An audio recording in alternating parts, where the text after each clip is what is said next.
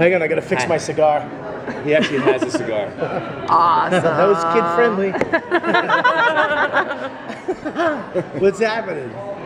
you guys are awesome in the show. Oh, you watched saw it? I've seen Yeah. four episodes Did you and I it? need more. I mainlined it. Isn't it Yeah. awesome? There's something addictive about it, right? It's very addictive. Yeah, It's- yeah. It's it's unusual for it to have such a serialized component, right? And you'll you're gonna freak out. The show. I'm not smart enough to know what that means, but I, It means there's a said. story that continues rather than each episode being contained. You could have filled me in if you're gonna use happened last week serialized. You should have let next me know. Who the hell uses serialized? You don't use serialized just I out bet there. you any money Froot Loops does. So can you guys introduce your characters and tell us what to expect? I'm John Ales. I play Rehab, Sonny Silverstein, and I have uh, several problems.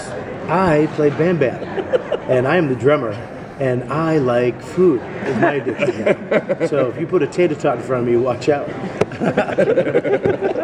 yeah, we uh, yeah we're the rhythm section of the of the heathens, Now the aka assassins. the assassins, and uh, you know we're uh, we're always struggling for the spotlight.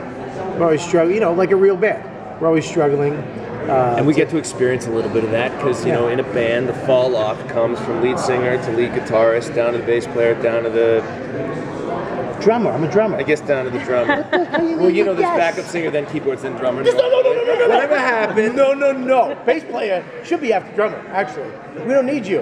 White Stripes. Okay, that might not White Stripes. Uh, morphine, morphine. White Stripes. Who doesn't have a drummer? The drummer, Name one band that doesn't have a drummer that's successful. uh, Simon and Garfunkel. They, Then the drummer's in the back. You just don't know he was a hired hand. Yeah, You know what I'm saying? drummer. No basis in that. Drummer. Paradiddle, paradiddle, paradiddle. Syncopate, syncopate. Speaking of drummer, I Yes. understand that you didn't play drums or not well going No, I into never played the drums in my life. Always doesn't. wanted to. Always wanted to. That's bullshit. I, I work really hard, you son of a bitch. I'll kill you right now in front of these cameras.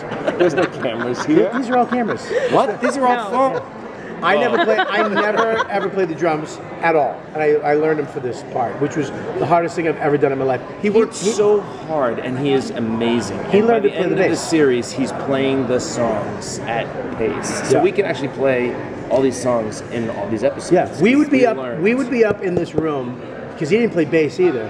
In between, when everybody else is napping, you know, between scenes, we're up there. There's very little napping with the sounds we were making. Yeah, uh, there's only there's the only piece we got to piss off Corbett. John Corbett, with his dressing room was right next to the uh, the rehearsal studio. So yeah, we both learned instruments for the show.